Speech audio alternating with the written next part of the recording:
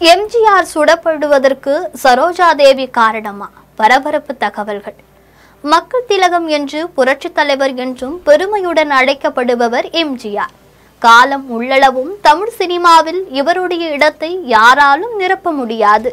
வணிக ரீதியாக மிகப்பெரிய வெற்றி படங்களை கொடுத்தார் புரட்சித் தலைவர் எம்ஜிஆர். பின்னாளியில் அரசியல் களவும் கண்டவர். தமிழக அரசியலிலும் அவர் தனக்கென தனி இடம் பிடித்து முதலமைச்சர் பதவி வகித்தார். முன்னதாக எம்ஜிஆருக்கும் எம் ஆர் ராதாவுக்கும் இடையே மதுரை மறைவில் மோதல்கள் இருந்து வந்தன.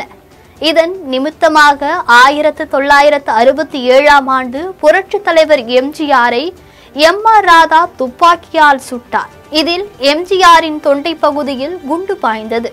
பின்னர் மருத்துவமனையில் சிகிச்சை பெற்று எம்ஜிஆர் உயிர் பிழைத்து வந்தார். எம்ஜிஆரை எம் ஆர் ராதா எதற்காக சுட்டார் என்ற முழுமையான தகவல் இன்று வரை வெளியிடப்படவில்லை.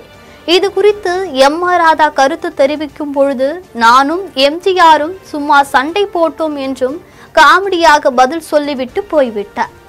இந்த நிலையில் எம்ஜிஆர் சுடப்பட்டதற்கு சரோஜா தேவி ஒரு முக்கிய காரணமாக சொல்லப்படுகிறது. ஆயிரத்து தொள்ளாயிரத்து ஐம்பத்தி ஏழாம் ஆண்டு முதல் ஆயிரத்து தொள்ளாயிரத்து அறுபத்தி ஏழாம் ஆண்டு வரை இயலும் எம்ஜிஆர் சரோஜா தேவி இணைந்து சுமார் இருபத்தி ஐந்து படங்கள் வெளிவந்தன. எம்ஜிஆர் நடித்த பெரும்பாலான படங்களில் சரோஜா தேவி கதாநாயகியாக புக்கிங் செய்யப்பட்டார். இந்த நிலையில் ஆயிரத்து தொள்ளாயிரத்து அறுபத்தி ஏழாம் ஆண்டு துப்பாக்கி சூடு சம்பவம் நடந்தது. அதற்கு பிறகு எம்ஜிஆர் சரோஜா தேவி நடித்த அரச கட்டளை படம் வெளியானது. அந்த படத்திற்கு பிறகு எம்ஜிஆரும் சரோஜா தேவியும் சேர்ந்து நடிக்கவே இல்லை.